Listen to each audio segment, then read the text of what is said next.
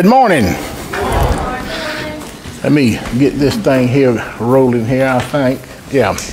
Um, we got a lot of people away today, uh, being with their families, being Mother's Day, and so we a little uh, today.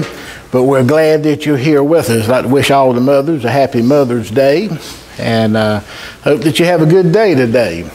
Uh, the flowers here today was given in memory of uh, Catherine and Randy's mothers. Um, this is where the flowers was come from today. Um, now, how many got to see the Northern Lights yet? You mean that you seen them? Oh, okay. Well, I'm going to tell you. Oh, you've seen them. Well, just a few. I think tonight's the last night that you can see them. Uh, I'm going to try to venture out tonight, and I'm going to plan on going up to Bethel and that open area up there. It's pretty pretty place up there, and see if I can spot them. Uh, so if you want to see them, I think tonight's the last night you'll get to see them. It's a, a rare occurrence for it to happen down here. Uh, so if you get a chance, do that. Now, don't forget, if you're planning on going to Southport and Fort Caswell, you better sign up uh, this well this today let uh, Kathy and them know how many's coming. Uh, they're going to leave at 7.30 in the morning. Uh-oh. Uh-oh. We got a bunch of people lots to sleep in don't we? Well i tell you one thing. I've had a good week of sleeping this week hadn't i Linnell? i was up 44 hours straight then I was up 36 hours straight. The reason why Linnell snores so bad. nah, but I, I, don't sleep well anyway. But I tell you, I've had a, a tough week this week. Uh, uh, you know, at nighttime, normally you, you're supposed to go to bed and go to sleep. But I've had a, a, a, struggle this week. But, but anyway, we made it through. Slept good last night. Praise the Lord for that. Um, now, at the end of the month, and, and Kathy, I need to talk to you uh, sometime very soon. We planning on having a testimony day here at the church, and it's set for the last Sunday in May. We've got three ladies that uh, will give their testimony. We may have time to work a few in, but it, you know, I, I, want to do this. I think it's something that uh, uh we need to do from time to time. Uh, somebody can tell us how they became a Christian and uh, things like that, but we'll give their personal testimony. So I'm looking forward to that. So that's the last uh, Sunday in May. And I'm going to go ahead and go a little bit further. In June, we're going to have, what we going to call that, Janice? Singspiration. Sing parade. Sing parade. Uh, it's, however you say it. So I, I, have a hard time doing stuff like that and uh, we're going to have some of our folks to be singing here. And then after we get through, we'll have uh, uh, dinner. Uh, I don't know what we're going to have just yet, but that's the last Sunday in June. So uh, keep those things uh, before you. And if you get a chance, you see somebody that we've been missing for some time, let them know that we miss them and like to see them back in church. So please uh, try, try to, to do this. Everybody feel good this morning? Everybody love the Lord this morning? Okay. I didn't throw nothing in there. I didn't try to trick nobody. but I just want to see if you're alert and, uh, and all that. But before we go any further, let us go to the Lord in prayer. Heavenly Father, we do thank Thee for the night rest. We thank You for this beautiful day you woke us up to and woke us up in our own mind. And, and Lord, we thank You for that. And Lord, we thank You for this day that's been set aside that we uh, honor our mothers. And, and, Lord, we thank You for them. And Lord, I know that some, uh, their mothers wasn't the best in the world. And somehow, some way, Lord, they still made it through. And Lord, they might be the best mother that coming from a home like that. So we thank you, Lord, for this day. We ask, Lord, that you forgive us of our sins for the things that we said, thought, and done to displease thee. And Lord, today we just ask that you have uh, your will and your way in this service. And let us all today, Lord, uh, be glad that we're in the house of the Lord. For we asked it in Christ's name. Amen. Miss Brenda? Okay, I know the bulletin says we're gonna honor their mothers, but we're gonna do it at the end of service. Yeah, I'm gonna let you There's do been a little that. bit of change in it, okay? So go, we'll get you out. Two twenty-five, please stand. Power, there's power in the blood. 225. Power in the blood.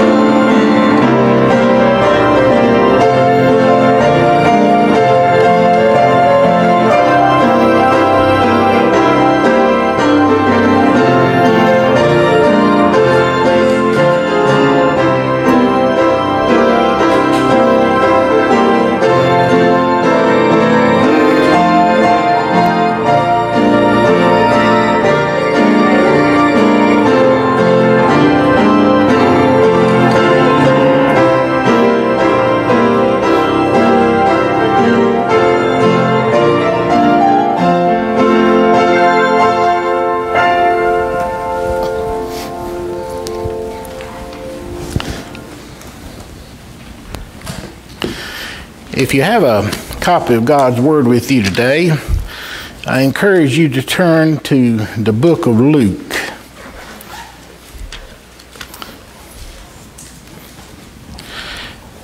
Chapter 1, verse 37. This is a verse that you should be able to memorize this pretty easy, and it says a great deal. Verse 37, if you don't mind, please stand as we read this portion of God's Word.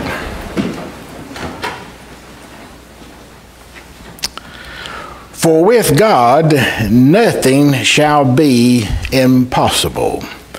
May God add his blessing to this portion of his words. You may be seated.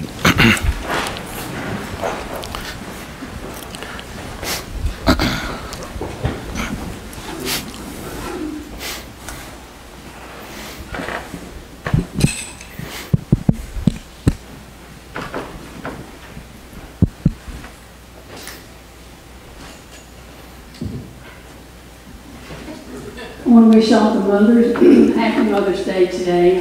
Glad to have my son, one of my daughters, my son-in-law, and my youngest grandson with us today.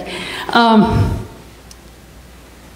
Pastor Carl sometimes he gets changed on messages. Got to give him something at the last minute, and I have toiled with this since yesterday. Uh, the one I wanted to sing, I thought I needed to sing, can't find it. I think it's back there somewhere. And so uh, I think this is a song I'm supposed to sing this morning. Um, we all know that the next event on the calendar is the rapture of the church. And as a mother, there's nothing, nothing more important than knowing that your family is ready to meet Jesus. Amen. So, midnight cry. Amen.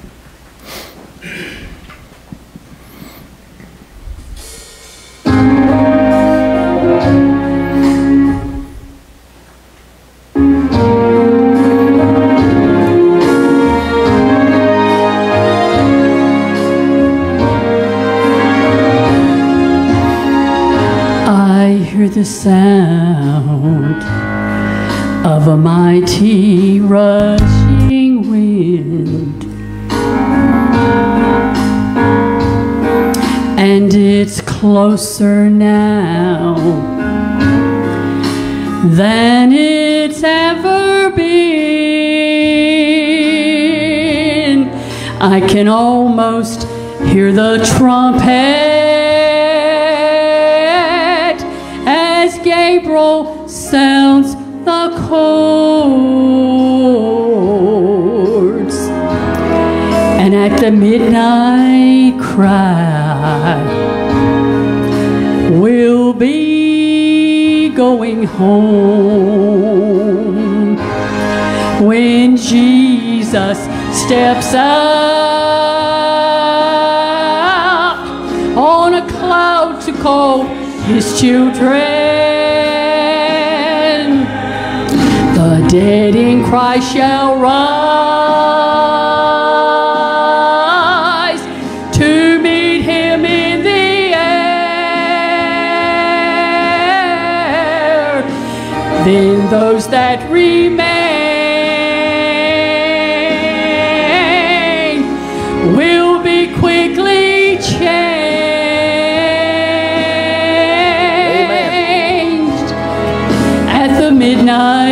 cry.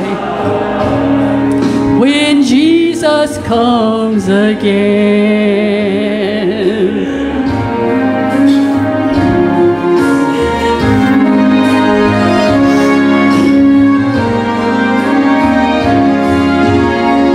I look around me, I see prophecies fulfilling, and the signs of the times. They're appearing everywhere, and I can almost hear the Father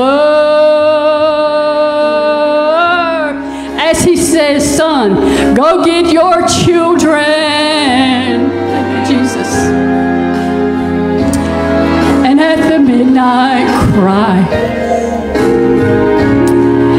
The crowd of Christ, we're gonna rise. When Jesus steps out on a cloud to call his children. The dead in Christ shall rise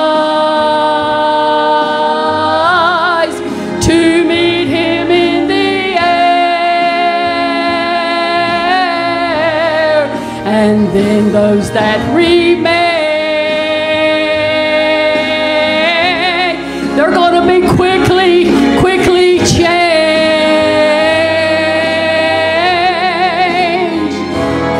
And at the midnight cry, when Jesus comes again,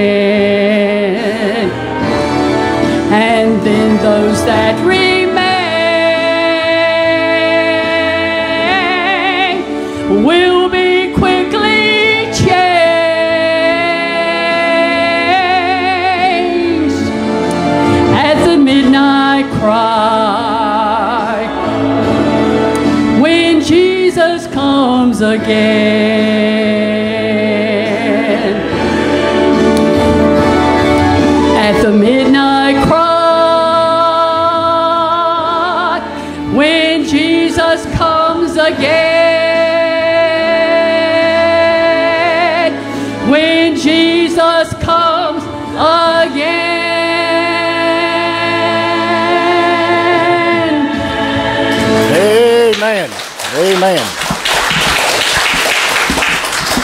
Bless your heart. The Lord put sweetness in her mouth this morning. I'll tell you. Woo. Oh, I'm to tell you now, that, that hitting it out of the ballpark today, brother. Bless your heart there. Mm.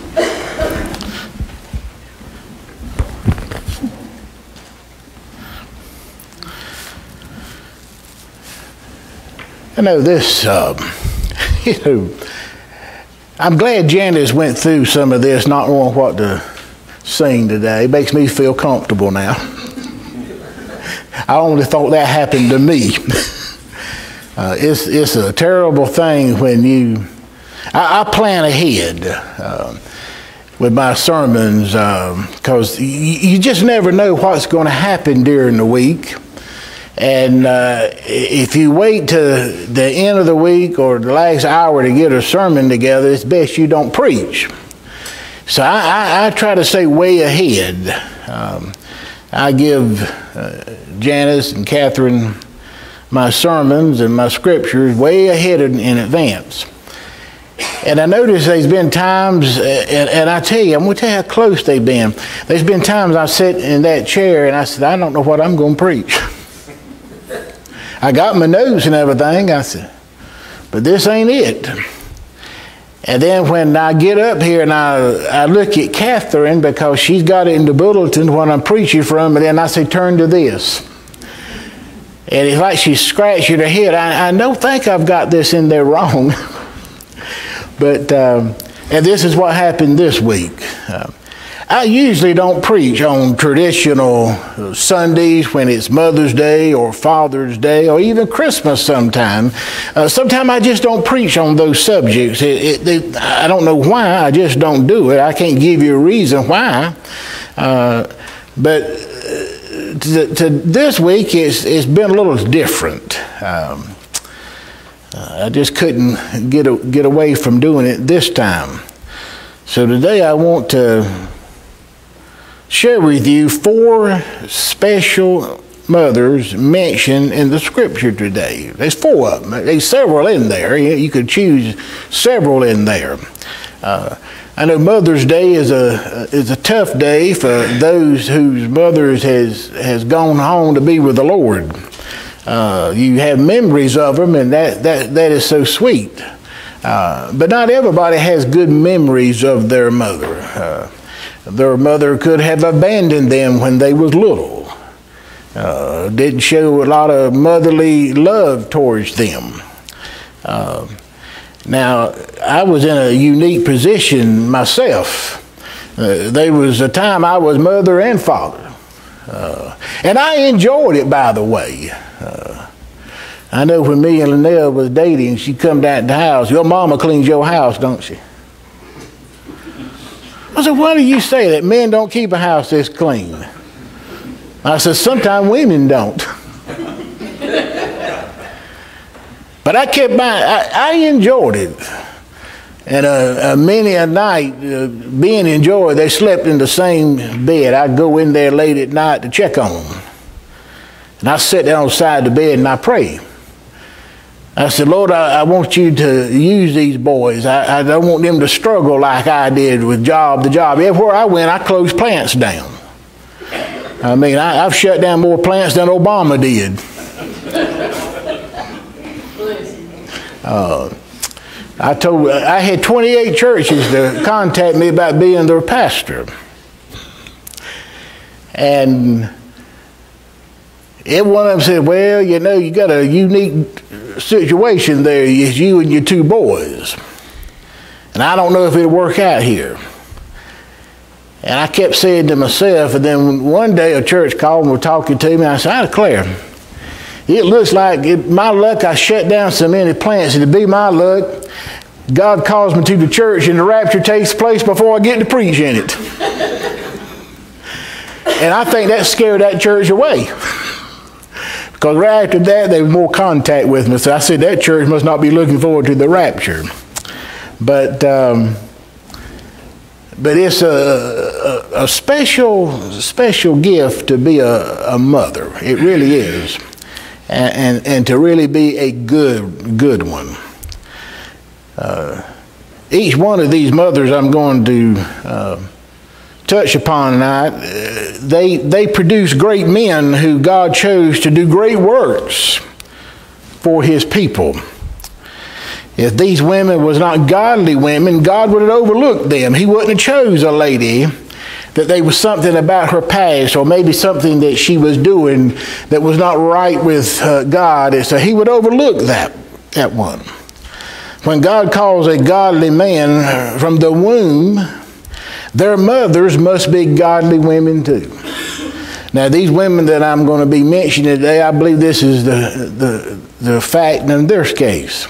Three of these mothers had some type of connection with the priestly tribe of Levi, for their husbands was priests. Uh, that as you look and study, you realize that these these women that I'm going to be talking about, they was the exception of one. Uh, all had connections with that priestly tribe of Levi. So they was well aware with the customs of their husbands. So their children would be good examples for their father in obeying God's law. You know, it used to be old saying that the preacher had to mean his youngins. Well, the reason they had to mean his youngins, they played with the deacons' children. That's, that's what my mother always said. Uh, I don't think I was a bad child by no means. Uh, I mean, I wasn't a perfect child, but uh, I, knew if I'd done anything that was going to uh, get me in trouble, I didn't fear my father that much. I mean, he's only, I can only think of a few times he had to, to I, I call it a whipping. But my mama was the disciplinary in the family. And when she stuck that tongue out as she got ready to strike you, you knew it was going to hurt. So she was in charge of that part. But not all priests' children behave right in the sight of God. We have examples in there.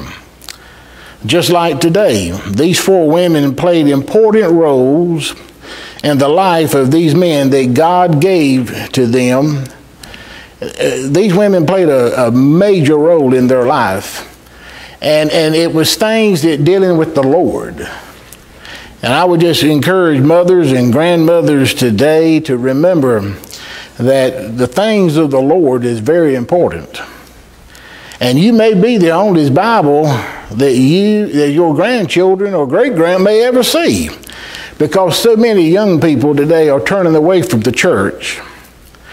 But uh, these ladies had something in common. And the first one I want to deal with is Jochebed. Now, does anybody know who Jochebed was? Ah, now listen, y'all know we had her on our questions. It was she was the mother of Moses. She's first mentioned in Exodus chapter 6, verse 20, and the next time in Numbers chapter 26, verse 59. But there's not a whole lot of description about her. But there are some things mentioned that you can gather information from. But she was the mother of Moses. In Exodus chapter 2, she is mentioned but not named. And uh, you know when you read that, that that's who they're talking about, his mother. Uh, Jochebed hid Moses for three months. Because you know that during this time is when Pharaoh was beginning to kill all the little boys. And for some reason, which we may not know, she hid Moses. Now, the fact that she hid Moses must have meant that some of the Israelites women allowed their children to be killed. Now, they came in and killed most of them when they found out they, they just had a baby. But she hid Moses for three months.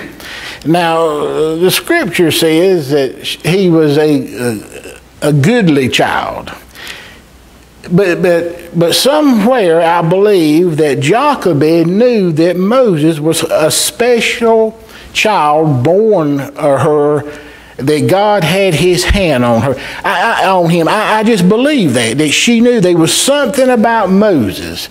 She said, I've got to protect him. Can you imagine trying to hide a baby for three months? They cry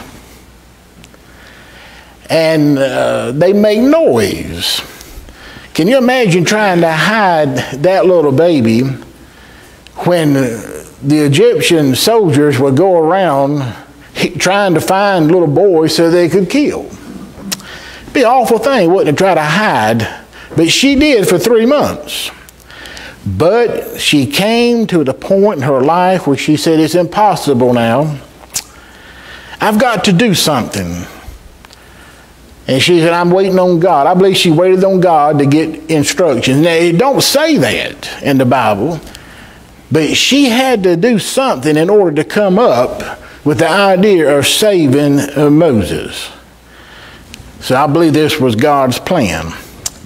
The first thing I want to mention to you about Jochebed, Jochebed was a woman with great faith to do what she did. She had to have a faith a whole lot deeper than most people. Can you put your child in a basket, put it in the Nile River, and push it off?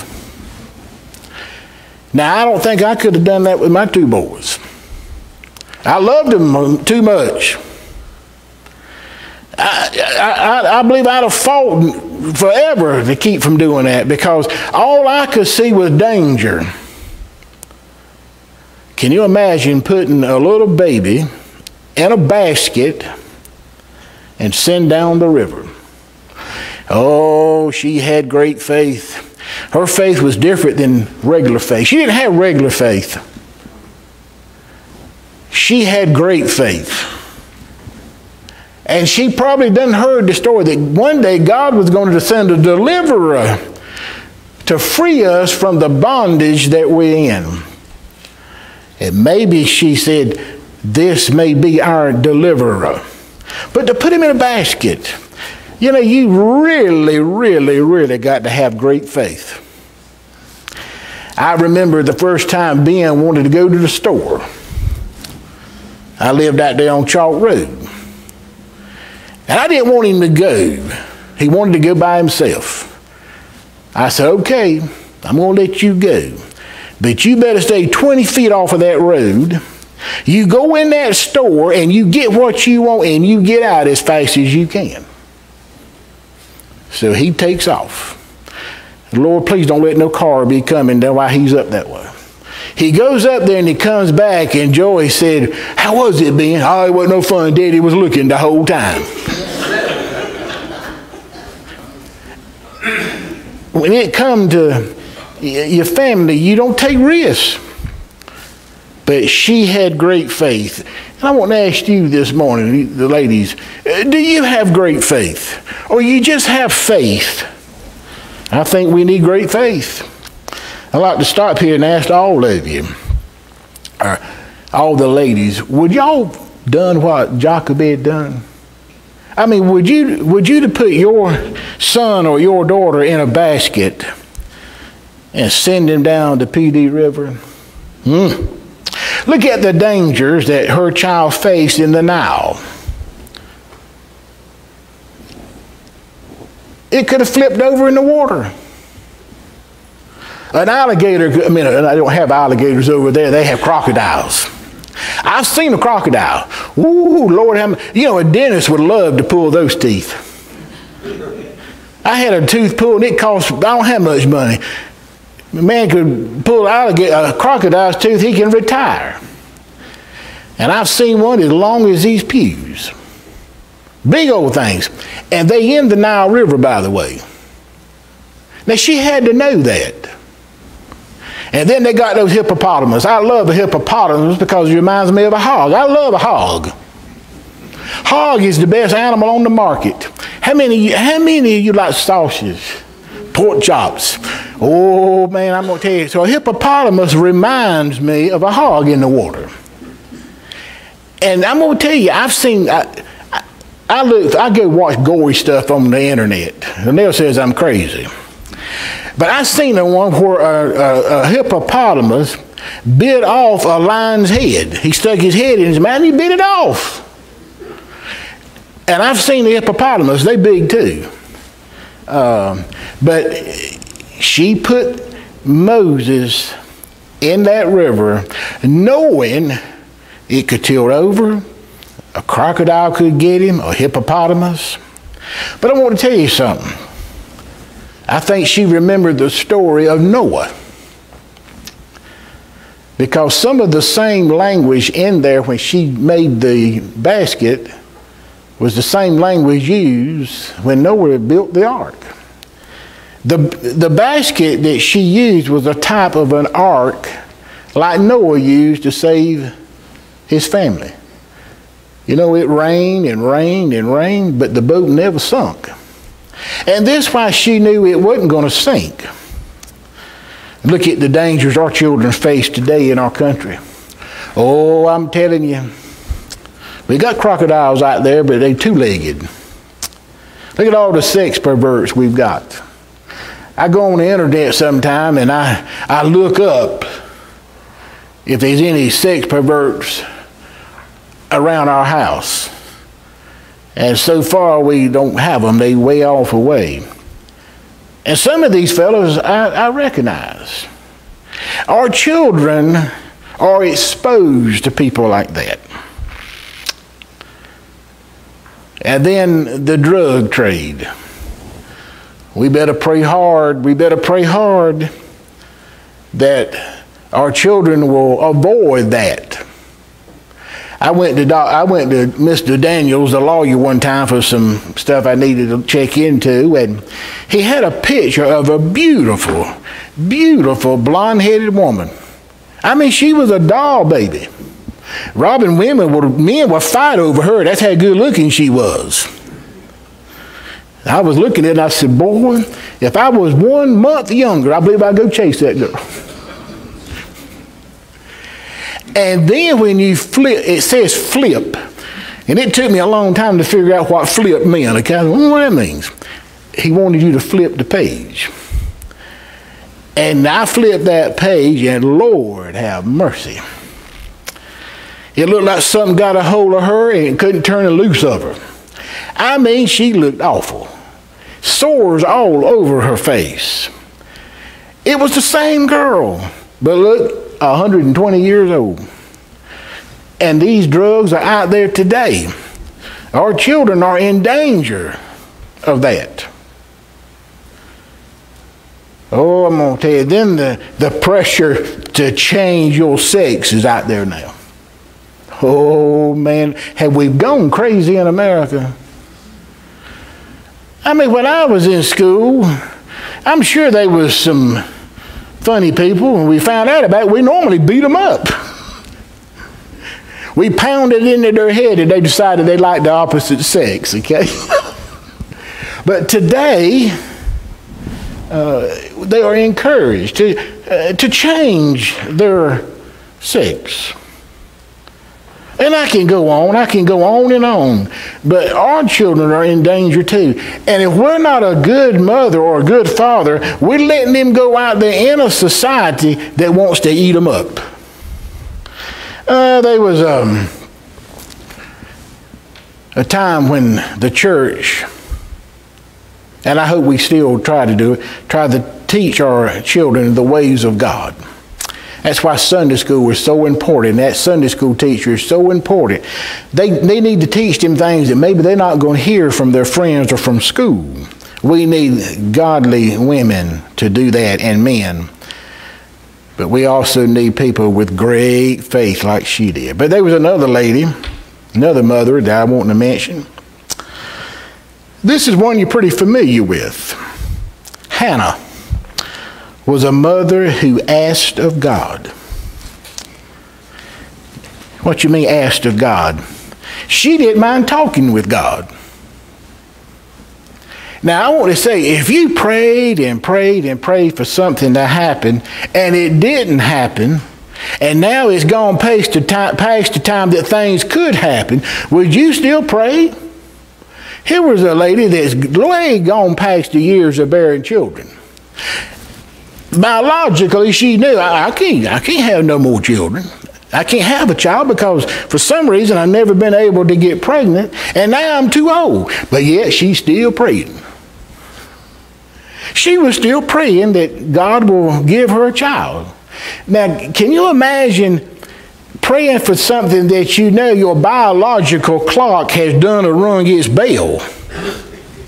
But she kept on. She kept asking God. She was persistent. Uh, when I was a, a child, I would oftentimes get bad colds and run high fever. I had asthma, but I don't remember it. But I had it real bad.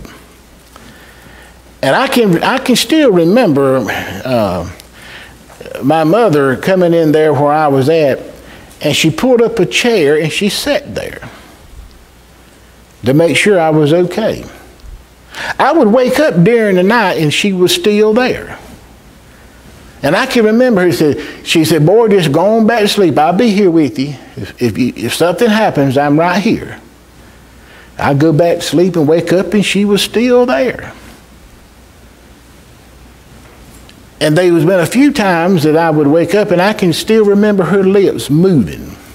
Couldn't hear nothing out of it, but her lips was moving. You know, Hannah was moving her lips, nothing was coming out, and the priest heard her, thought she was drinking. And then he discovered what she was talking about. But I can always hear my mother tell me, she says, son, just go on back to sleep. I'll be here. And then when the sun come up, she'd go in the kitchen and cook breakfast and take care of us. But my mother was praying for me, and even though I was sick. She, she prayed, and I would get to feeling better. And I'm so thankful for that. But Hannah was not afraid to ask God anything. You know, my father used to tell me, he said, Son, if you want something from the Lord, ask Him. Ask Him. He owns everything. It's not like he's broke. Have you ever heard your parents tell you, well, I, I try to get it, but right now money's a little short. God got a big pocketbook. And he can dig way down in that pocketbook. But he wants, he wants us to ask him. He wants us to talk to him. He wants us to communicate with him. He enjoys that. So she asked of God. Um, and then she, when she asked him, she was expecting him to come true. Um, and then, guess what? This old, old lady who'd gone past the years of bearing children, one night, her and her husband got a little frisky. You know what I'm talking about, it, don't you? Don't say that like you, well, what's you mean by that? You know, sometimes you want to kiss and hug, okay?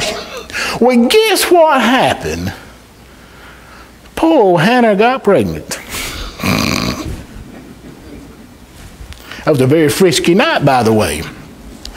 And she had already promised God, Lord, if you let it happen, I'll give him back to you. You mean to tell me all these years you wanted a little boy, and now when you're going to give him back? Yes, sir, I'm going to keep my word. When she asked for something and God delivered, and she kept her end of the bargain. She was a woman who asked of God. These next two women are in the New Testament. Let me check my, my time here. Oh, Jesus. These next two women are in the New Testament. Now, I want you to try to figure out who the last one is going to be. You, you get some clues here. They were kin to one another. Like Hannah, one of these was unable to have any children. Anybody getting a hint? You know who I'm talking about? But she couldn't get pregnant. But here's the good news. But there was God. Don't ever exclude God from things. You know, you may get bad news. Well, there ain't nothing I can do for you. This is it. You can turn around and say, but there is God. Oh, he has the final say, don't he? Dr. Queen was our family doctor, and I don't know if he did this with everybody, but Dr. Hugh Queen would pray for you sometime. He would. He, he prayed, and he, he sent up good ones. And I can remember him saying one time to me, Don't ever count God out. Her husband was like Hannah and Jochebed. Their husband were priests. Anybody got a clue who I'm talking about? The mother name was Elizabeth, beautiful name. And Elizabeth was a woman who believed God's word. You can find that in Luke chapter 1, verse 45. She believed God's word. Like Hannah and Jochebed, Elizabeth was very knowledgeable of the duties of the office, the priesthood. See, all three of these women had a connection to the priesthood. They married priests. They knew the functions of it and they wasn't stupid of the laws that and the the things that they was talking about. They had knowledge of it. So naturally they knew when something happened they could count on God. And Elizabeth believed God. You know, it's a wonderful thing that a person, a mother or father, that their children knows that they believe in God's word. They may correct them at times. Well, why are you doing that? Because God says it's wrong. Mm. But listen to our parents. You know, I've told y'all before, I could never imagine my mom and daddy being teenagers. I, I just, I, I mean, I, I, can't even think about it. kind of makes me sick. Because all I can remember of them is at a certain, they were sort of old folks, okay? I just don't remember them being young, you know. I, I think my daddy was 34 when I was born. I think you're old when you pass 30, so you can imagine how I felt. now that I'm getting older, you know, 34 wasn't a bad age, okay? I mean, wish they could go back to in the 30s. But but here was Elizabeth. She knew the office of the priesthood. She knew what prayer was about. And uh, she believed everything that God said. And she believed that all things are possible with God. I love to hear people say, say that. That means you can dream the impossible dream.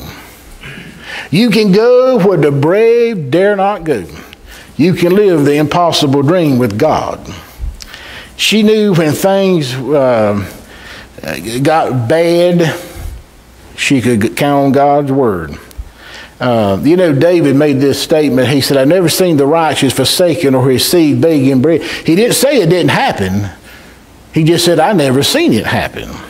These three women all had those things in common great faith, one who asked of God, would be willing to talk to him. But I want us to look at this last mother. Anybody kind of figuring out who this might be? You probably figured it out who she was. How many think they know who it is? Raise your hand. Okay. She became a mother at a very young age. She was a young lady, probably between the ages of 14 and 17.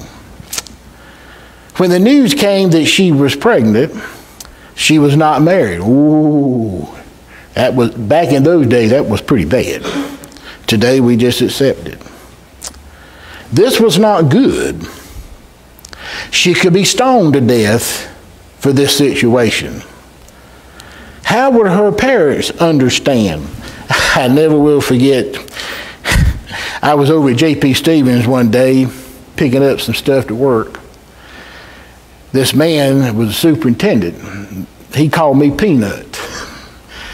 He said, Peanut, my girl came home last night. I said, Yeah. She thought she was a little bit pregnant. and he said, I've been trying to figure that out. He said, either she is or she isn't. He said, I think she is. But can you imagine going to your parents, the parents my age and older? Yeah, I, I think I'm pregnant. Ooh, Lord have mercy. You'll be wanting to find the nearest faraway place you could find. she had to deal with that. And then, what would her fiance say with this kind of news? One thing I do know that mothers, good mothers, have in common they worry over their children, don't they? It doesn't matter if your, child, your child is 50 years old, you still worry over them. You know that? Aren't you glad that you do worry over them? That means you love them, you care for them. I remember the day me and Linnell took Ben to UNC to start his education. Now, it was bad enough he was going there. I mean, of all places, UNC. Why couldn't he went to state? And I remember getting everything in on that hot August day, and boy, it was hot. A thousand people trying to use the elevator. Sweat rolling all over the place. And we finally got everything set up. He was on one side of the room, and Nell was on the other side, and I was on the other side, and it hit home. I'm going to have to leave in a few minutes and go 80 something miles back home without my boy. And I started crying. I don't mind telling you. I, I, I don't mind telling you. I cried because he was going to have to be on his own for the first time.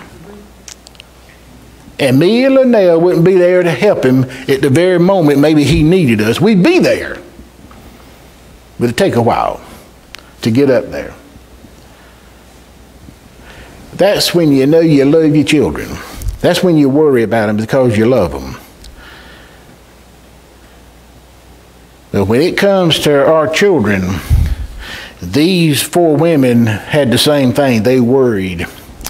That brings me to my last mother, which is Mary, the mother of our Savior.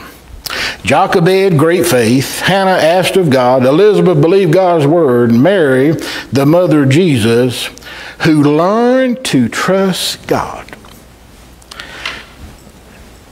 The night that Gabriel came and told her that she was going to conceive. Hmm. And she said, I don't know a man. Don't you worry about that. God's going to take care of that. She had to trust God more at that moment than any time in her life. Can you imagine in that time frame and the way they were about things? Can you imagine the the the weight that was on her? Who was going to believe her? Okay. And another thing that'll blow your mind: Jesus was going to be older than his mother.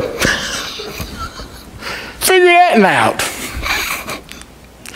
And she had to pray to her son for forgiveness of sin. She was not a perfect lady. She was a good lady, good, good lady. But she was, you know, she had some sin in her life too. And she had to ask her son. Isn't that something? Figured all that out. But she learned simply to trust God. When things didn't even make sense, she trusted God. And folks, I'm going to tell you something. If it hadn't happened to you yet, it will happen. There'll come a day when you think, God, what are you doing? It don't make sense. And when that comes, just remember, you still trust Him. Because one thing I knew Mary, and I read it, she learned to trust. Learn. You just don't get it at one time. She learned to trust God. And all of these women had all these things in common. So on this Mother's Day, 2024, if you want to be the best mother or grandmother you could ever be, seek these four things that these mothers had and put these things into practice. Possess great faith like Jochebed, the mother of Moses. Ask of God like Hannah, the mother of the prophet Samuel. Believe in God's word like Elizabeth, the mother of John the Baptist. And learn to trust God like Mary, the mother of our Savior. Heavenly Father, we thank Thee for this time we've had together. And Lord, we thank you for our mothers, those that know your word, understand your word, and those that does their very best to pass that along to their children. So, Lord, we come at this time and we just ask, Lord, that you bless each mother here today, each grandmother here today, for the work that they do to keep us safe. For we ask it in Christ's name. Amen.